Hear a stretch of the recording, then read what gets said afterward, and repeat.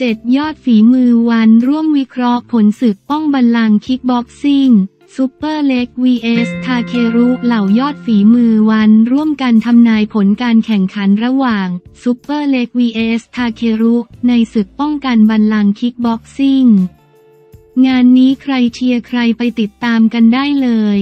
นับถอยหลังอีกเพียงไม่กี่อึดใจความสนุกดุเดือดกำลังจะเริ่มขึ้นในศึก ONE 165 โดยคู่เอกจะเป็นการพบกันระหว่างซูเปอร์เล็กเกียรติหมู่ 9 แชมป์โลก ONE คิกบ็อกซิ่งรุ่นฟลายเวท 125 ถึง 135 ปอนด์ ขวัญใจชาวไทยวัย 28 ปี ป้องกันตำแหน่งครั้งที่สองพบกับ ทาเครุ เซกาวะซูเปอร์สตาร์คิกบ็อกซิ่งวัย 32 ปี ขวัญใจเจ้าถิ่นที่จะจัดขึ้นในวันอาทิตย์ที่วันที่ 28 มกราคมนี้ณอาริอาเกะ อารีนากรุงโตเกียวประเทศญี่ปุ่น เริ่มคู่แรก 15 นาฬิกา ตามเวลาประเทศไทยก่อนที่ความมันสุดเร้าใจจะระเบิดขึ้น วันนี้เราจะพาไปพบกับเหล่านักกีฬาวันที่ขอผันตัวมาเป็นกูรูเฉพาะกิจเพื่อทำนายผลการแข่งขันในครั้งนี้หนึ่งรถถังจิตเมืองนนท์แชมป์โลกวันมวยไทย รุ่นฟลายเวท 125-135 ปอนด์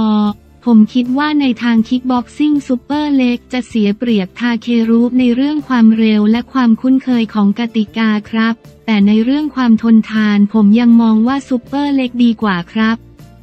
ส่วนรูปเกมในวันนั้นซูเปอร์เล็กจะต้องไม่ประมาทความไวและความหนักของทาเครุในทางกลับกันทาเครุเองก็ต้องไม่ประมาทลูกดักเตะก้านคอ หรือลูกกระโดดเข่าลอยของซูเปอร์เล็ก คู่นี้โอกาสน็อกกันอยู่ที่50ถึง50 ครับอยู่ที่ว่าใครจะพลาดโดนก่อนครับ ถ้าถามผมว่าให้ใครชนะ ผมก็ต้องเชียร์ให้คนไทยครับ ก็เป็นกำลังใจให้ซูเปอร์เล็กครับ2สแตมแฟร์เทคแชมป์โลกวัน MMA รุ่นอะตอมเวทหญิง 105-115 ปอนด์ หนูมองว่า ทาเครูปน่าจะไวกะว่าพี่ซูเปอร์เล็ก แต่ถ้าพี่ซูเปอร์เล็กออกอาวุธได้ดีกว่าและเร็วกว่าก็คิดว่ามีสิทธิ์ที่จะชนะ ทาเครุได้ค่ะ ก็ฝากเป็นกำลังใจให้คนไทยด้วยกันอย่างพี่ซูเปอร์เล็กว่าสู้ๆนะคะ เอาเข็มขัดกลับมาให้ได้ค่ะ สามเพชรจีจ้า ลูกเจ้าพ่อโรงต้มแชมป์โลก ONE คิกบ็อกซิ่งรุ่นอะตอมเวทหญิงเฉพาะกาล 105-115 ปอพี่ซูเปอร์เล็กได้เปรียบเรื่องประสบการณ์การแก้เกมบนเวทีและมีอาวุธที่หนักค่ะ สามารถออกได้ตลอดด้านทาเครุหนูมองว่าเขามีความไวแต่อาวุธยังไม่หนักเท่าพี่ซูเปอร์เล็ก ส่วนรูปเกมคิดว่าน่าจะออกมาสนุกแน่นอน และมีโอกาสจบแบบไม่ครบยกด้วย อยู่ที่ว่าใครจะเป็นฝ่ายพลาดโดนก่อน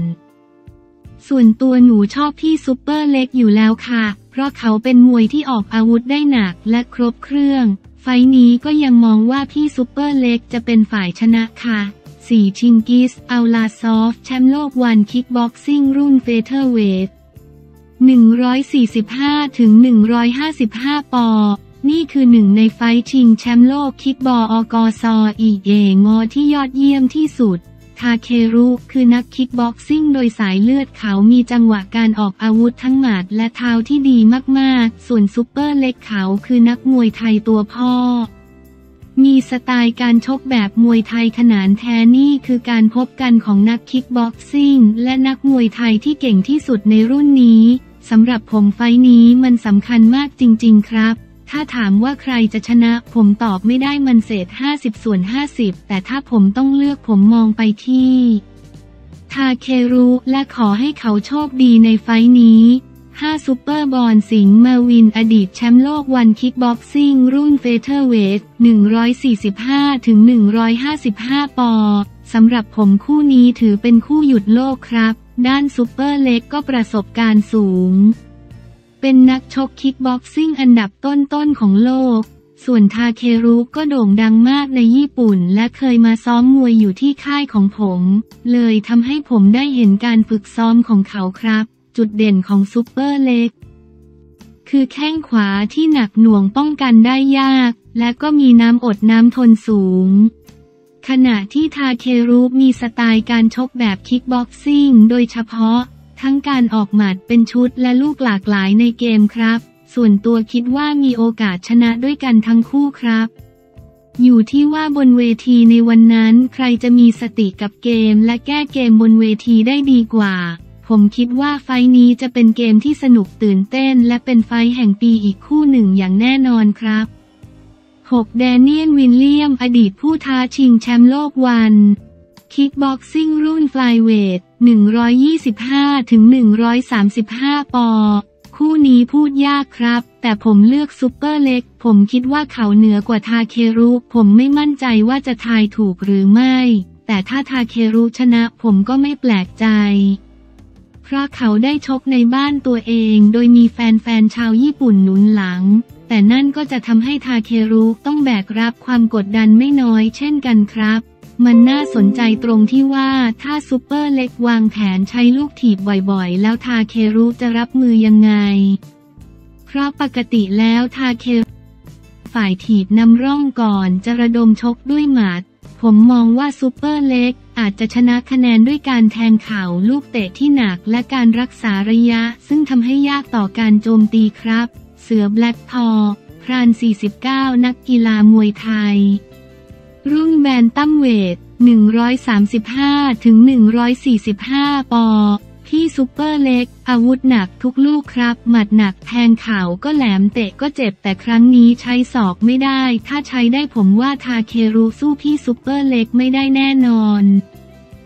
เวลาที่ผมได้ซ้อมกับพี่ซูเปอร์เล็ก ผมรับรู้ได้เลยว่าร่างกายแชมป์โลกเขาแข็งแกร่งแบบนี้เอง ทำไมเขาถึงได้เป็นแชมป์โลก หากให้วิเคราะห์ผมคิดว่าพี่ซูเปอร์เล็ก น่าจะเป็นฝ่ายชนะน็อกครับ 8. สำหรับประเทศไทยสามารถรับชมศึกวัน 165 ได้ในรูปแบบ Pay Per View PPV หรือจ่ายเงินเพื่อรับชม ราคาเพียง 99 บาท เฉพาะผู้ชมในประเทศไทยเท่านั้น โดยสามารถซื้อ PPV ล่วงหน้าได้แล้วที่ลิงก์นี้ดูวิธีการซื้อ 5 ขั้นตอนซื้อ PPV ชมสดซูเปอร์เล็ก vs ทาเครุและซื้อบัตรเข้าชมในสนามผ่านทางราคูเทนติเกตติดตามข่าวสารและความคืบหน้าของวันได้ที่ Facebook One Championship Thailand เว็บไซต์ onefc.com และ Instagram onechamp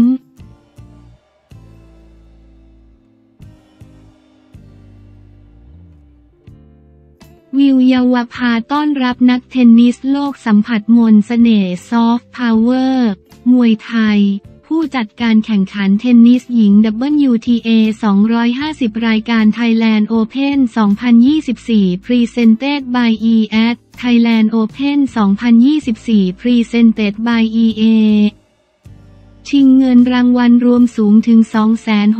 267,082 ดอลลาร์ หรือประมาณเกือบ 10 ล้านบาทที่อารีนาหัวหินจังหวัดประจวบคีรีขันธ์ยังคงให้ความสำคัญกับการโปรโมท มวยไทย ซอฟต์พาวเวอร์อันทรงพลังซึ่งการท่องเที่ยวแห่งประเทศไทย ร่วมผลักดัน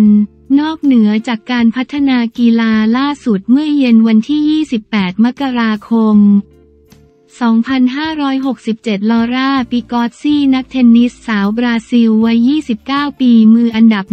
118 ของโลก พร้อมโค้ชและคณะได้ร่วมฝึกทักษะมวยไทย และชมการแข่งขันมวยไทยระดับท้องถิ่น รายการ Legend มวยมันวันอาทิตย์ที่ศูนย์การค้า Bluport หัวหิน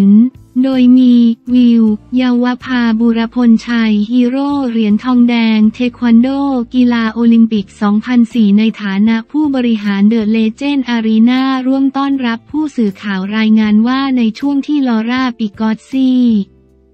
ได้สวมนวมลงฝึกซ้อมศิลปะแม่ไม้มวยไทย เจ้าตัวดูมีอาการตื่นเต้นในช่วงแรกแรกก่อนที่จะเริ่มสนุกและลองปล่อยหมัด ออกอาวุธทั้งหมัดเท้าเข่าศอก และท่าแม่ไม้มวยไทยต่างๆ โดยมีครูมด ครูโนตครูนนท์สามเทรนเนอร์จาก The Legend Arena ช่วยติวเข้มตลอดการฝึกซ้อม